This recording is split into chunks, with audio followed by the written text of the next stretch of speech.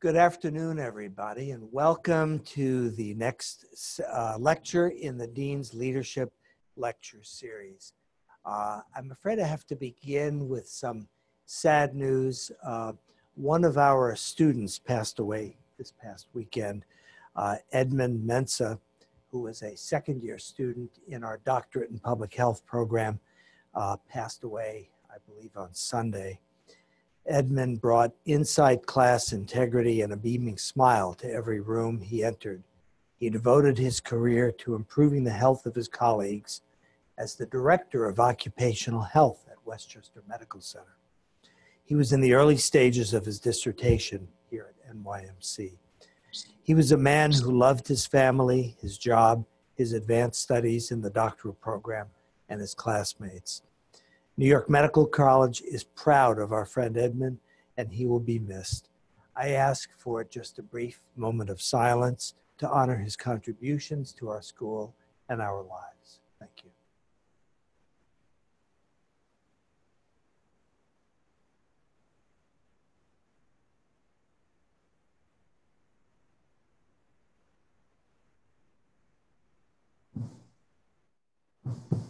Thank you all very much. And I would like to propose that we dedicate this session to the memory of Edward Mensa without objection. Thank you very much.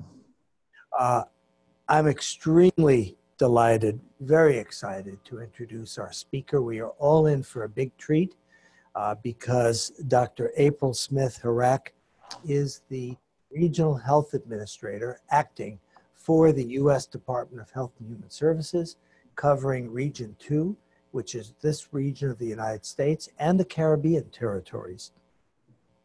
In her acting role as regional administrator, she is also full-time deputy regional administrator, so she has to do both jobs at the same time, an unenviable set of responsibilities. She's responsible for public health leadership across the region, which includes, besides New York State and New York City, uh, New Jersey, and of course, as I said, the Caribbean.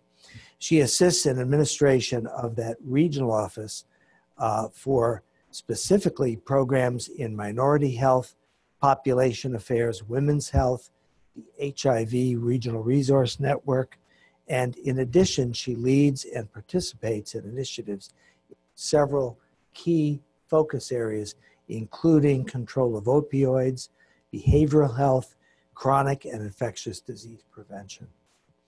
Prior to her work in the region, uh, she was at the Center for Disease Control and Prevention, CDC, in Atlanta, where she worked in the Office of the Director on issue management, short term policy, and managing the agency's regulatory activity.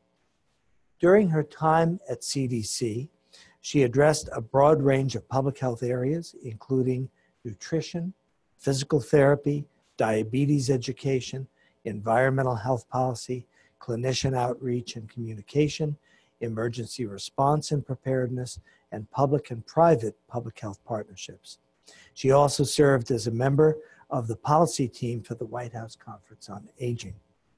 She has a PhD in psychology from Yale, where she conducted research with the Rudd and Pace Centers focusing on social and health psychology and on issues surrounding obesity stereotyping and discrimination.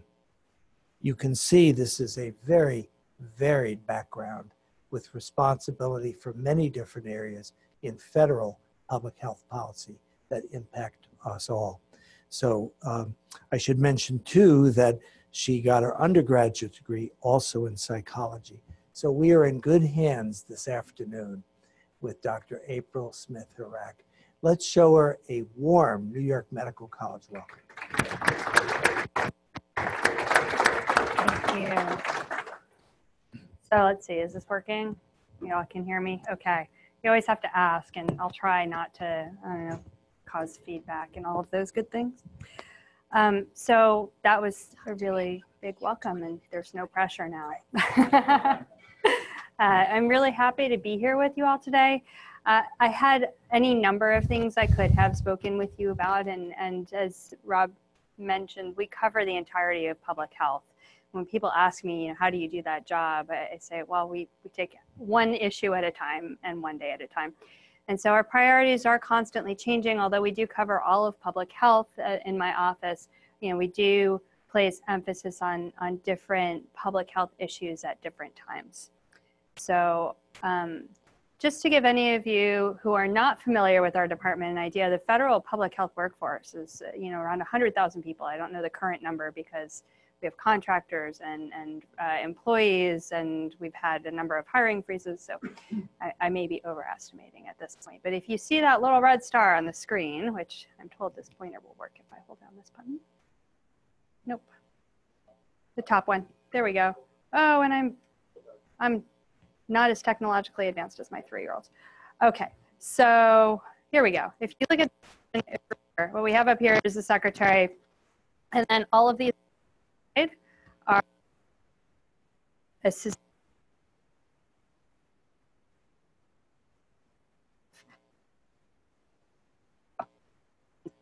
These are the ones that you may more familiar with, the FDA, CMS, Medicare, Medicaid, uh, the CDC, NIH, and Indian Health Service.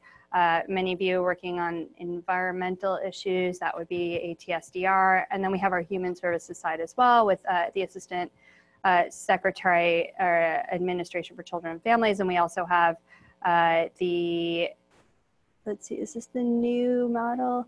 I don't see ACL here, but we have, uh, they, they used to be called AOA, the Administration on Aging. And they, over the last five years or so, have transitioned to the Administration for Community Living. And they cover um, disability as well as aging now. Uh, and then, of course, we have which is no small uh, area of work for us these days, the Substance Abuse Mental Health uh, Services Administration, SAMHSA. So we cover everything. My office uh, is the Assistant Secretary for Health's office. We used to be known as OPHS, the Office of Public Health and Science, and now we are the Office of the Assistant Secretary for Health. And we also house the Surgeon General and the Public Health Service within the office, as well as a number of programs uh, any of you who are public health aficionados know uh, the Healthy People 2020, 2030 is coming up. There's lots of listening sessions on 2030. I encourage you to comment, but that's out of one of the offices within the Assistant Secretary for Health's office. Uh, so we cover a lot. Uh, here in the region, uh, we have myself, a regional uh, health administrator, and we have regions uh, across the country. We I have nine counterparts in all of the different regions, and you can see on the map where our regions play out. We do a lot to be the rough translation between the federal government and the state and local entities that we represent. So it's really our job to promote uh, federal health initiatives, to be aware of any emerging issues, and to, to work with our state health officials, our local health officials, and our community organizations to help everybody uh, in our region achieve optimal health, which is a tall order, but that's our goal. So how do we do that? We engage with our health officials, we partner with other, and you see staff divs and OpDivs, that's just government speak for other organizational units and other federal agencies. And then we collaborate with our regional stakeholders, and sometimes that means non-traditional partners. Uh, you know, most recently, we've done a lot of work with public safety in the opioid epidemic. It's not a group that we usually chat with very much, but it turns out we make a, we make good partners when we need to work together to address a specific issue. Uh, and then we maintain our regional networks, networks, and we provide a lot of situational awareness back to headquarters, which is uh, really important so that the, the policy that's being driven from a federal level can be reflective of the environment of the country.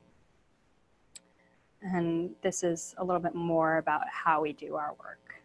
So basically what I thought I would do today is I wasn't sure who, how many of the, the audience would be students and how many would be faculty or other interested parties. So I just thought we could cover a few of our big priority areas, probably things you've been hearing about in the news. So I'm going to talk with you about opioids. I'm going to talk with you about HIV, and I will speak a little bit about uh, HPV hepatitis, or not hepatitis. We're working also on hepatitis C, but um, many of those efforts are intertwined with the opioids and HIV efforts. because they're uh, not unrelated. So you may have been seeing uh, information about the ending the HIV epidemic uh, initiative that's coming through right now, and 700,000 American lives lost to HIV since 1981 is a pretty staggering figure. Uh, and if we don't intervene, then another 400,000 can be lost. Uh, the, the interesting thing about HIV is that in 1981, when HIV was, was first uh, identified, it, was a death sentence. And now it is no longer a, that death sentence. It is a manageable, almost chronic condition if treated properly and identified. And the stigma that comes from the initial stages of the identification of the disease and that outbreak still follow, even though the, the the development of treatment has has not justified that stigma. So we have our work cut out for us. But what we've realized is that right now we got to this point where we do have the tools and we have the ability to stop the HIV epidemic, which is something that we, as, as a public health person, your goal in life is to put yourself out of business. If, if you don't have a job, that means everybody is healthy and they're doing the things that they need to do. And it's, it's a unique profession where your goal is to not exist and not be needed. So we have hit this point with HIV, which is a really remarkable tipping point where we can say, I think that this major epidemic that we have been battling for years, that we have been looking for the right tools, that we've been looking for that tipping point, we've hit it. And now we really think that we can eliminate the HIV epidemic and eliminate HIV transmission, which is something that not many of us who are public health practitioners really get a chance to do in our lifetimes. We kind of we kind of often feel like Don Quixote battling the windmill. you know, we we try and try and try, and yet sometimes the the problem is either misunderstood or bigger than us, and we don't have that opportunity. And here, what we have is an opportunity. So there are a number of ways that we need to approach this, and we need to look at this from all sides, from all levels of the community to really work and be able to eliminate HIV. So we need to diagnose, we need to treat, we need to protect, and we need to respond. And then we need boots on the ground workforce. So we are looking at a goal of 75% reduction in new HIV infections in five years. And we're looking for 90% in 10 years and we really think we can do this. Um, so we are focusing uh, in phase one on that 75% and then the 90%, and then intense case management after that to maintain a number of diagnoses at a very low level. Uh, and, and we really feel that with the tools that we have right now, this is doable. Um, and like I said, this is not just a federal Department of Health and it's not a local Department of Health or a state Department of Health. It's it's uh, every primary care provider. It's every person knowing their status. It's it's a whole of society organizational issue, and we really need to band together to do that. So this is a little bit more of a summary slide about how we're going to work towards those goals. And what we have here is anybody heard about the high burden counties? So this uh, is based on our 2016-2017 data. The one thing you'll notice about the federal government is that the data comes out so slowly. so this is basically what we have as our most recent data set. But if you look at the burden HIV in the US and you look, let me see if I can work the pointer now, you'll look right over here. Um, we're up here. And actually, out of the 48 highest burning counties, and the rest here. In, in my region, we have four high burden counties in New York State. We have two in New Jersey, and we have all of the municipios in the metro area of San Juan, Puerto Rico. So we actually have a pretty high preponderance of high uh, burden counties. And you can look across the country. I don't know if anybody else is from elsewhere in the country, but you can check and see whether your hometown might be one of those high burden counties. So what we're going to be doing is we're going to be focusing really on these areas where the transmission and the burden are the highest And we're going to be employing the best public health strategies that we can, the best medical strategies that we can to make sure that people are diagnosed, that they're linked to care, that they're in care, that they're virally suppressed. And then, of course, at the same time, protecting people from new infections. And we, we are going to be placing emphasis as well on working on that stigma so that people do feel more comfortable getting care, engaging in PrEP.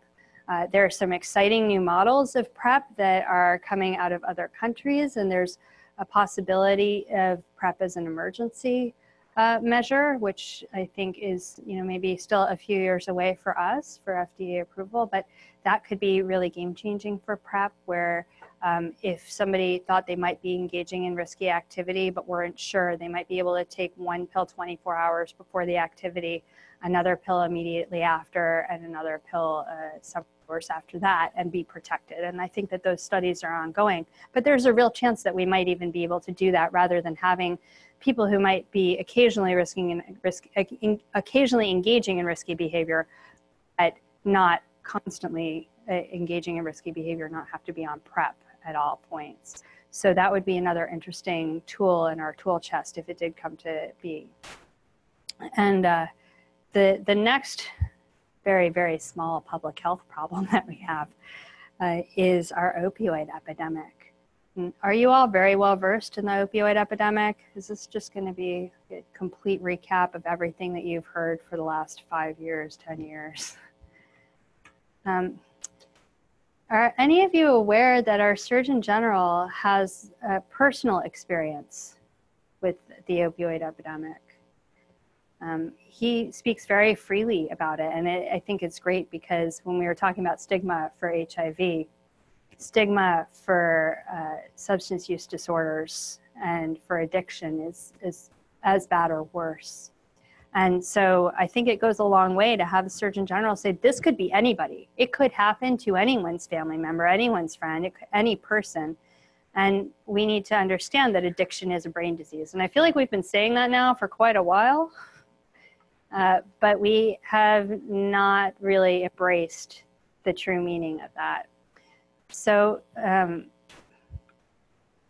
when we look at the opioid epidemic by the numbers, and again, this is based on 2017 data, and I can tell you I've sat in some of the high uh, intensity drug trafficking area meetings where we share some of our lab findings, and I can tell you that the numbers are, are a little different currently than they had been. But uh, 130 people are dying every day from opioid related overdoses and 11.4 million people misused prescription opioids. So that's not insignificant. Um, we, you can see all of the figures here, uh, almost a million people using heroin, 81,000 people using heroin for the first time, 2 million people misusing prescription opioids for the first time.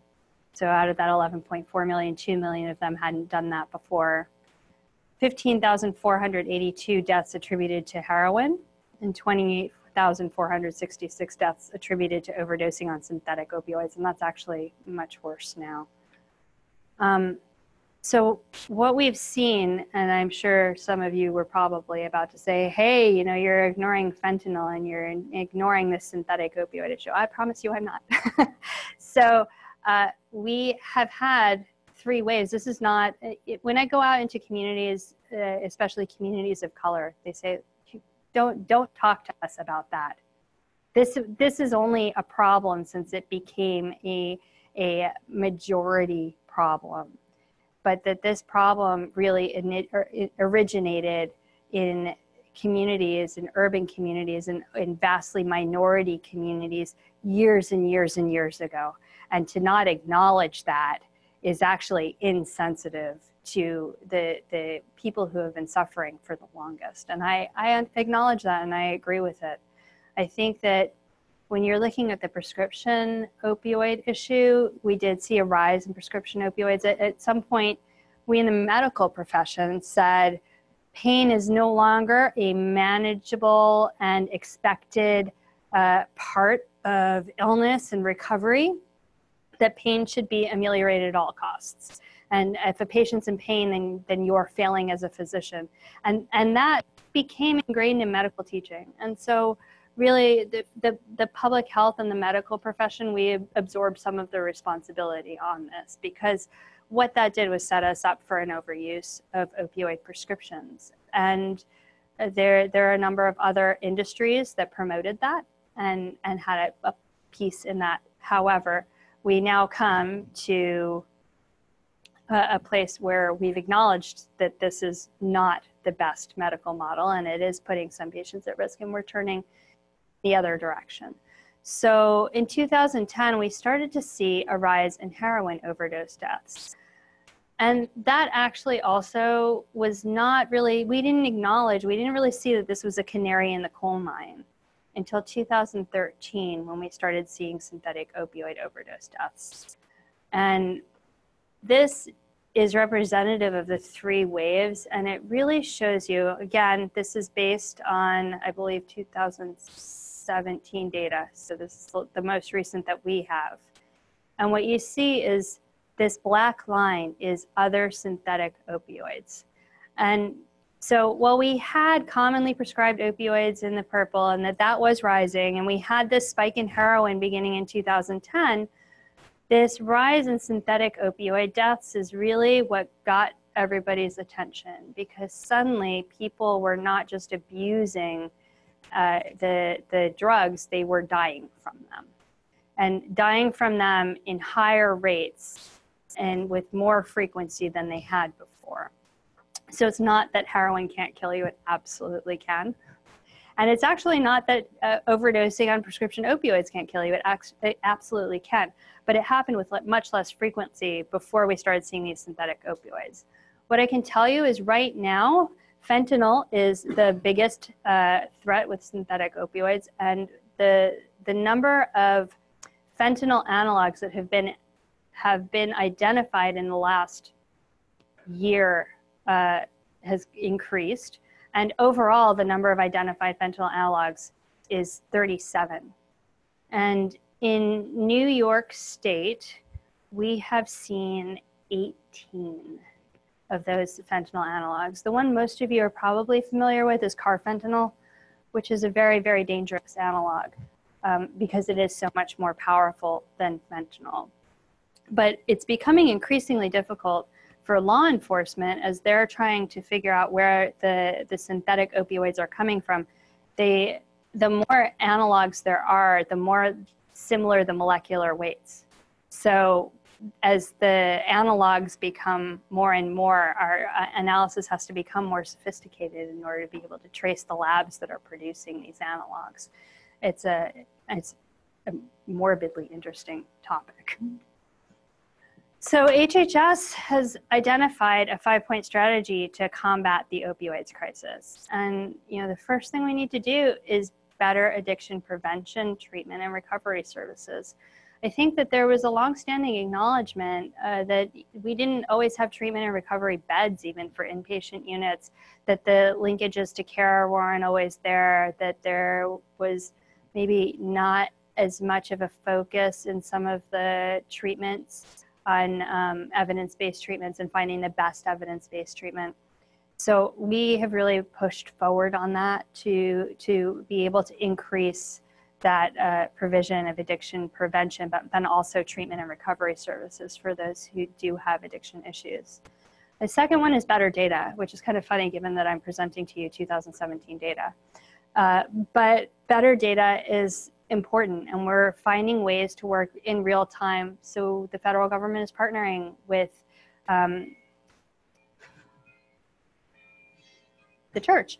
The federal government is partnering with uh, large companies like Google to look and see where they can find real-time data. There's um, an RX Stat platform that is a public health and public safety platform uh, people who are responding in communities can report in real time where they are seeing overdoses and overdose deaths and Narcan administration. So we are starting to get a better picture comprehensively of what's going on, which is really important because you cannot fight against an enemy that you cannot see. Uh, you can't do that effectively. So we're working on that. We're working on better pain management. Um, and, and this has been a really big issue on both sides because we do have patients who experience chronic pain and they do need pain treatment. And it, you can't just yank the opioids from those who had been using it to manage genuine chronic pain. Uh, so we're working on better methods for pain management, including reimbursement methods, including identifying alternative pain management models that maybe hadn't gotten attention before now. So there's a big push within the federal government to begin working on those and approving them and finding models that will be helpful to people who are genu- genuinely suffering from pain. Um, we also are better targeting overdose re- reversing drugs. And so that is a very fancy way of saying that we have pushed the availability of Narcan. Um, you can walk into a pharmacy in most states and ask for Narcan without having a prescription for it. Uh, if you have insurance, your insurance is probably reimbursing you for that that uh, Narcan. So if you're asking for naloxone and you want to carry it, you should be able to get it at little or no cost. And it is something that the Surgeon General has come out and recommended that everybody be able to do and carry. And we have seen a huge spike in the number of prescriptions that are, are being administered and the number of people who are carrying Narcan which is very important. And I think initially what was happening was we just needed to get naloxone into the community. So we need to educate people about how to administer it, and we need to get people willing to carry the naloxone. And now we're starting to hit a point where we have seen that uptake, but we have to now be a little bit more thoughtful and strategic. So this is a, a, an issue that we're looking at. How do we make sure that those who are most likely to need the naloxone, to be to administer the naloxone, are the ones who are increasing their uptake as well. So we're starting to be a little bit more strategic in that manner. And then number five is better research. So you know we we are learning all sorts of things about the human genome. We were speaking about epigenetics before, about the developing adolescent brain and the, the types of changes that can happen when youth are experiencing opioids and, and the way that that can alter brain chemistry and, and even brain architecture. So we're working on research to figure out what are the things that we need to know. And then once we know what we need to know, how do we uh, work through research to, to improve the prognosis and to, to reduce the addiction and overuse? That's an overview of opioids. HPV. Has anybody heard that Australia is on track to completely eliminate HPV? So, Australia was one of the first countries to approve the HPV vaccine. And we followed, I want to say 15 years behind ish. So, we're not quite there yet, but we are close. Uh, but the fact is that HPV, almost every American will be infected with HPV at some point in their life. This is, of course, without vaccination. And each year, more than 30,000 Americans will develop the cancers that are caused by HPV. And you'll see in this pyramid here that these are the numbers of cancers attributed to HPV infections every year. And you will see that it's not just the ladies, the men are included here. Uh, so what we're looking at is 300,000 cases of cancer that could be eliminated by vaccination, which is an amazing feat of public health. However, we didn't always discuss this vaccine as a cancer prevention vaccine, and so we're playing a little bit of catch up. So, HPV vaccination rates in the US are about 50%, and there are significant disparities. So rural areas are seeing much, much, much lower rates of vaccination than urban areas. And the series initiation versus completion, even though now for most uh, people who are receiving the shot, the series is only two shots. So it's, uh, it, it, to complete the series, you only need to have two office visits. Uh, but we're still seeing about a 15% drop off from series initiation to series completion. So even in jurisdictions or states or areas that have, say, a school mandate where children need to be vaccinated in order to attend public school, you can see as high as a 90 something percent series initiation rate, but you still see about a 15% drop off on the series completion. So we have our work cut out for us. So we really believe that a future without HPV cancer is within reach. And this is another one of those public health moments where, oh my gosh, I can help eliminate 300,000 cases of cancer. And so many of those cancers are really deadly cancers. By the time they're diagnosed, they can be often deadly, especially in communities where access to care is an issue. So sometimes if you can't improve the access to care the way that you would like to, if you can prevent needing that access in the first place, at least in case, then you can prevent a death.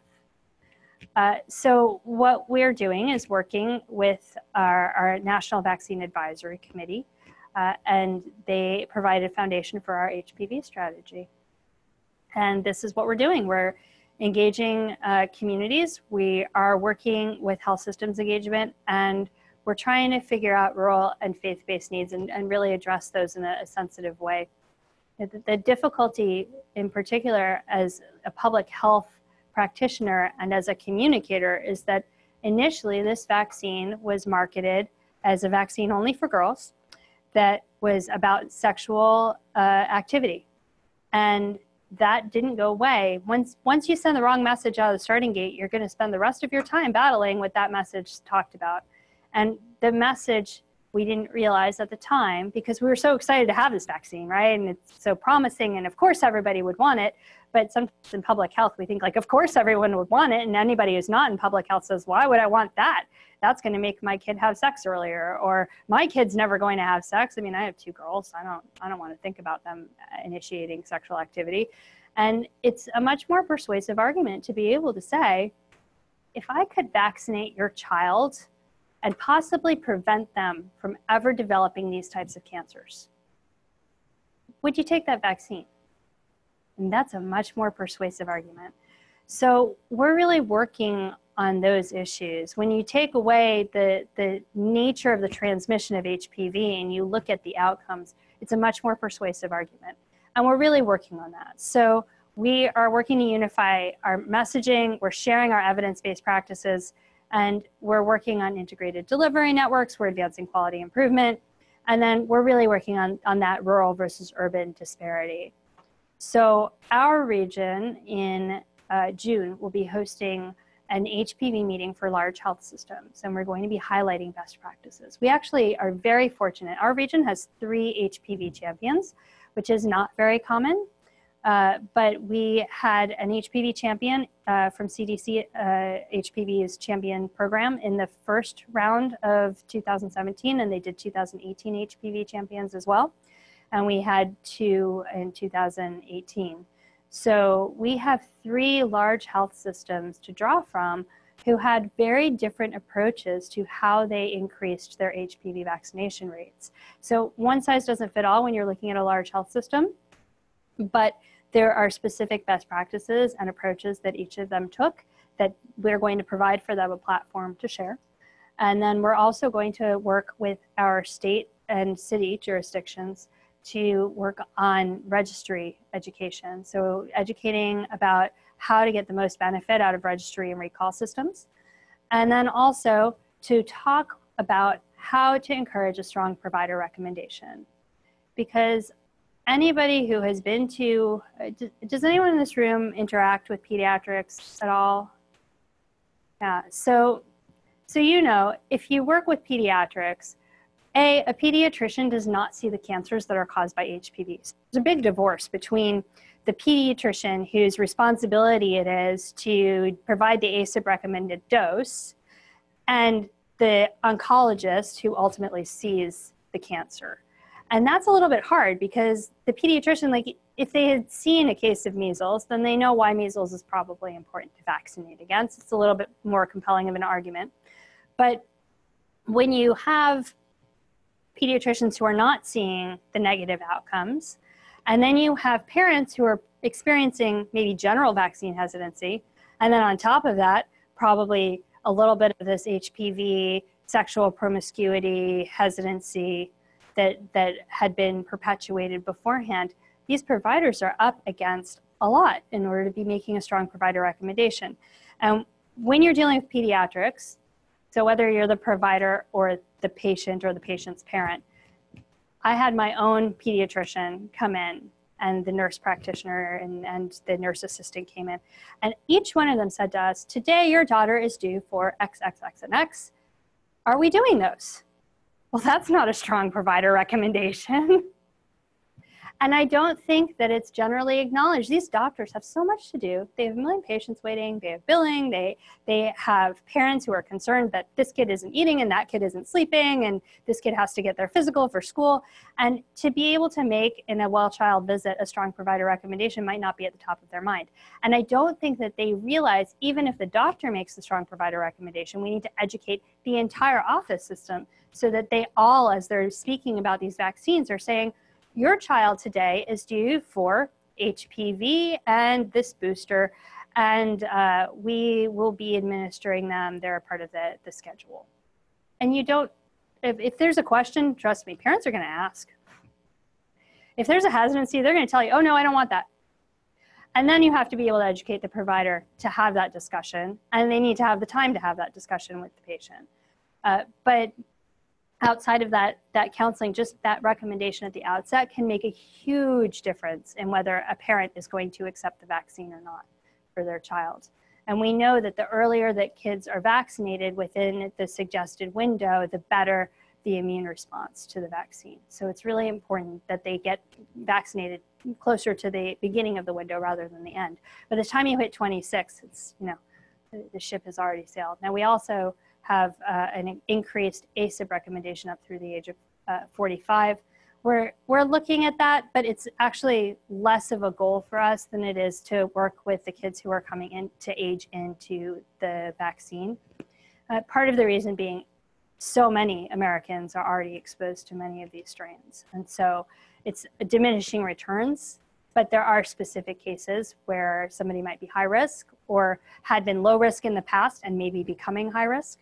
Um, we see a lot of people now who have what you might call a starter marriage, and they will be in a committed relationship from their early 20s or late teens until their mid to late 20s, and then uh, they they're leaving those relationships, and then they may be in a place of promiscuity where they had been in some way inoculated from having uh, the the risk in the past. So there are cases like that, and it is important. But for us, the biggest push is really to work on the younger end of the age spectrum to make sure that we're getting the vaccines. And if we can get these kids vaccinated, then we can eliminate HPV in the country. So that would be really exciting. Um, so I'm going to stop there. We're working on a million different issues. We are working on hepatitis C. We're working on minority health. We're working on women's health. We're working on cardiovascular health. We're working on youth sports. Uh, but these were kind of the big ones that are emerging trends that I thought you might be more interested in hearing. Yeah. Does your unit have any type of activity or strategy to find a friend that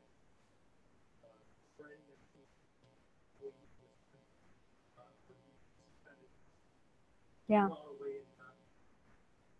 Did anybody see the New York Times editorial about a couple of weeks ago? So my boss, the Assistant Secretary, Admiral Brett Giroir, and the Surgeon General, Jerome Adams, and the CDC Director, Robert Redfield, wrote an op ed in the New York Times titled Why We Need to Fear the Disease and Not the Vaccine. So, yeah, we're working on it. As a psychologist, my challenge is this is a really tricky area for communication because in public health, our inclination is to provide people with the facts. And when we're public health practitioners or medical practitioners, we cannot imagine why in the world, if I tell you that something is bad for you, if I tell you that it could kill you, if I tell, why would you not take these facts and go, okay, yeah, I get it. But you cannot reason with belief. It is very hard to reason with belief. And so, you know, when, when we're working on these issues, it's, it's not always as straightforward as we would like. And it's very counterintuitive for traditional public health communication because our traditional public health communication is that's bad for you, that's good for you. And everyone goes, okay. Sure, like it's it's not good for us to be sedentary and eat Doritos all day. So all right, I get it. I'll try to change my behavior. Now, no promise, but like they understand and they're they're receiving that information. But can you imagine if you told somebody sitting around all day, not moving, and eating 15 bags of Doritos is probably going to result in some type of cardiovascular event for you that may kill you. It might take a while, but you're going to get there. This is really, really bad for you. And they say, those are all lies. That's propaganda. That is the government trying to control my life. That is traditional medicine not acknowledging my right to make decisions for myself. This is my bag of Doritos. So, can you imagine arguing with that? you do it all the time. and, and so we do have this. But to make a case for vaccination, somebody who truly believes that the vaccine itself is going to be far worse than whatever disease their child or they could contract. And then on top, they think that the, the disease itself, I, you know, I've had anti-vaxxers say, well, mac, you know, the measles doesn't kill anybody. That's all a lie. Okay, well, I can give you a, a WHO fact sheet about how many people around the world die from measles every year. No, that's a lie. So it's really difficult. And the anti vaxxers are very well funded. And they do get the ear of members of, of communities. And once you have that notion that someone is, is really holding to as fact, that is in fact belief, uh, it's really hard to counter that. So it's frustrating and it's difficult. And I think we're seeing uh, public opinion begin to shift in some states. There are states that are really looking at their vaccine exemptions, and, and of course, there are always going to be legitimate health and maybe even legitimate religious exemptions for these vaccines. But to, to give a blanket exemption is maybe uh, has maybe moved the needle a little bit too far. On the other hand, there are people, especially in the Pacific Northwest, where the measles outbreak has been the worst, who had been very, very anti vaccine and are really starting to see what's happening with these diseases and, and seeing members of their community adversely affected, and they are starting to vaccinate. So I don't want to say, oh, I hope that they sees how and a kid gets really sick from the measles because nobody wants that. But um, sometimes those are the types of events that, that make people think, it's the same thing with flu vaccine. You know, we see a lot of resistance to flu vaccine. People think they're going to get the flu from the vaccine. It's not effective. They think that it won't help. And you can tell somebody, well, you, strains are not exactly matched. If you contract the flu, your flu strain will probably be much less severe than it would have been otherwise. But they don't really think that, oh, I never get the flu. The one year I got the flu shot, I got the flu. And I got it right after I had the shot, and it had to have been from the shot. So then what we see is people dying from complications from the flu.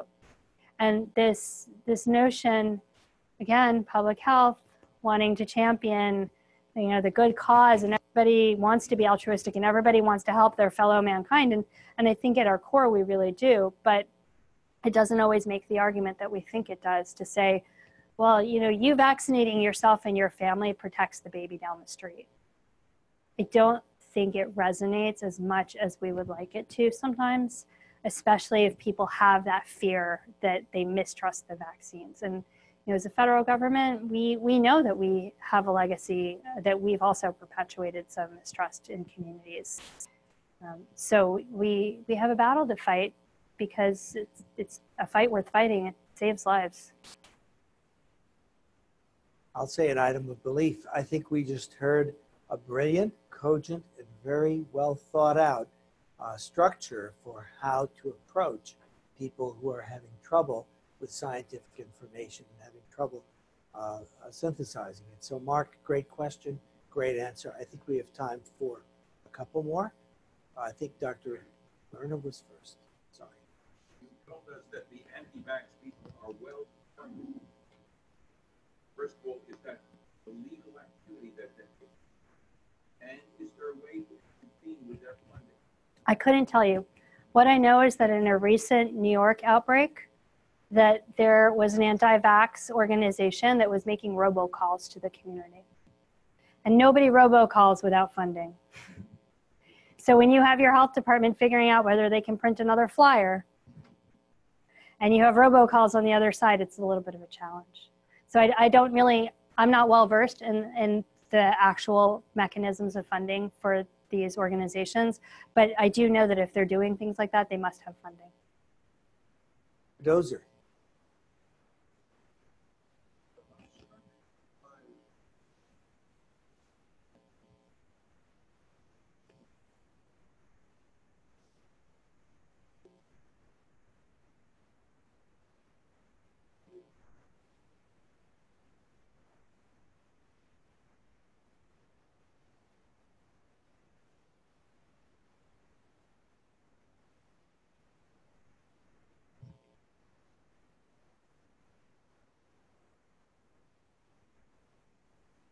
Well- And I should explain by clarification that uh, Dr. Smith Hirak has many agencies reporting to her. EPA, EPA is not one of Is them. not one of them, although they are right across the street from. I her do look at them out of my office, actually. And we do work with them. Of course, ATSDR, which is part of CDC, is also funded in large part through EPA dollars. There's the funding streams, but I, I do not represent EPA. What I can say is that in general, as the federal government, we don't do a lot of shameless self promotion.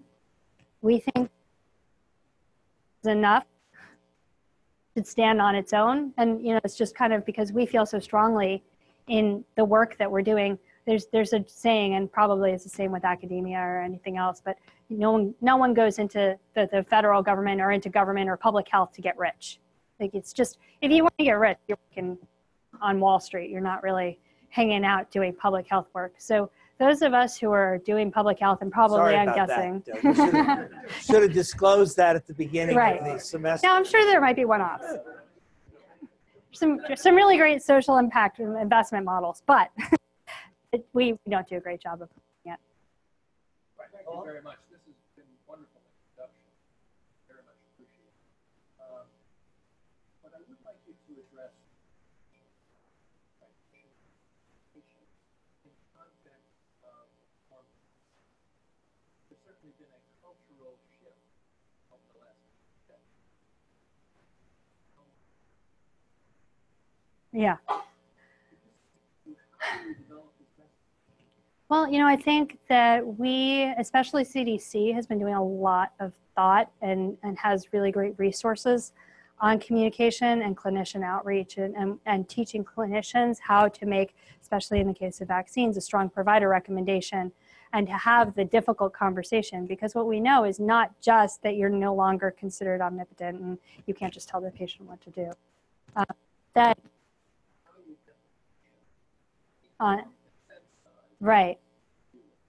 Well, part of the problem is that the, pr- the practitioner needs to be able to have the time and the knowledge base to persuade the, the in, in the right direction in the interest of the patient because of course you have the hippocratic oath and you never want to persuade a patient to do anything that's not in their best interest so that goes without saying but when you have that patient in the room and you say you know, I, I really think that we need to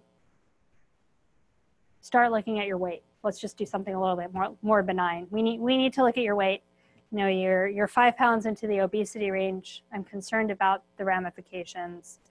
You know, how do you have that conversation? And that's something that I think in medical education, and we have the new dean of the medical school. Medical education can really work with us on this. It could be a really beautiful partnership because I think it's something that needs to be taught in the same way that we teach students how to do a medical exam or how to start an IV or whatever it is that they might be learning that's a, a traditional clinical practice. Having a conversation about how to make the right decision with a patient is something that doesn't come naturally to every physician.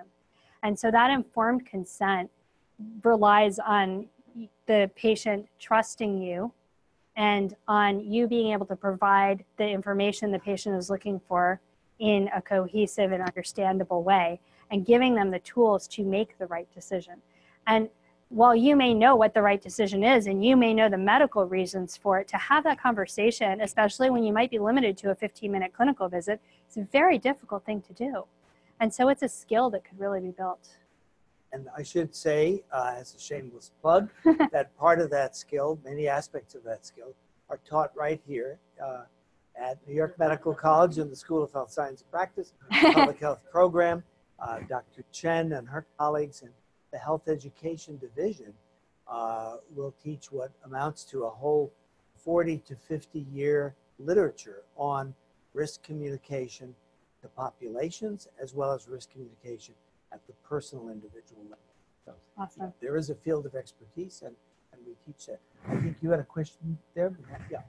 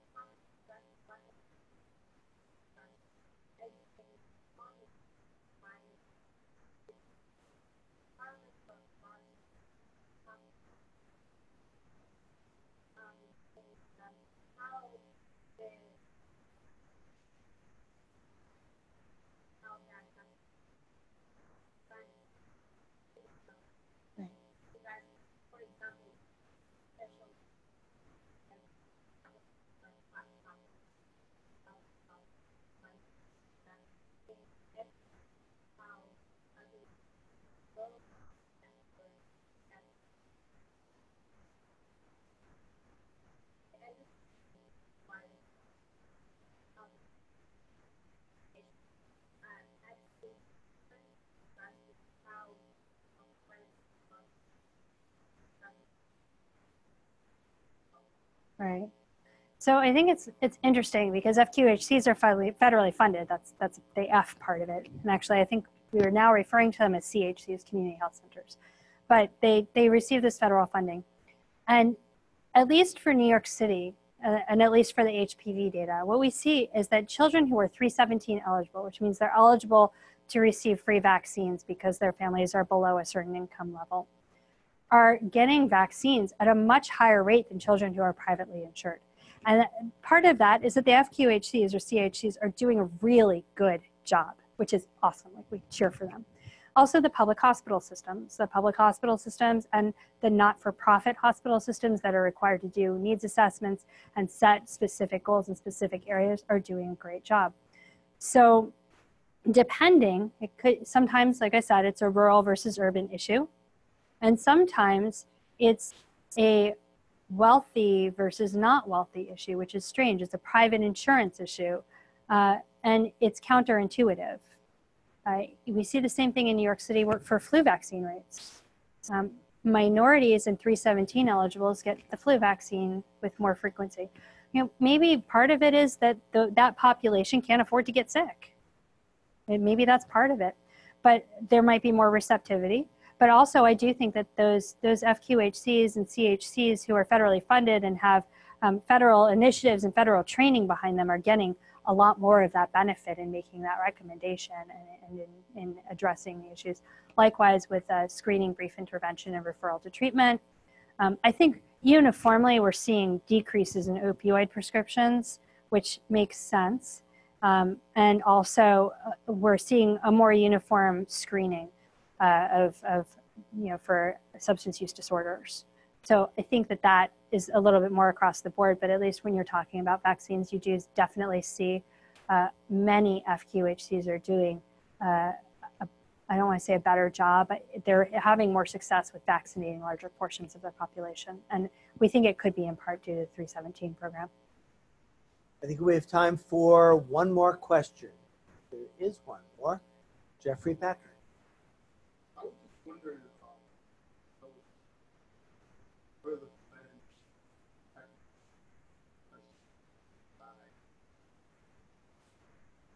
Because right now it's about forty-eight dollars a year.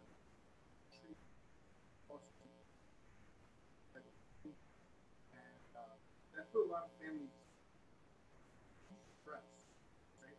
So I was thinking that, that